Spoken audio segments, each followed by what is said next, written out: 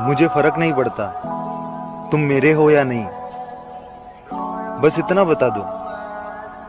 जहाँ हो, ठीक हो ना?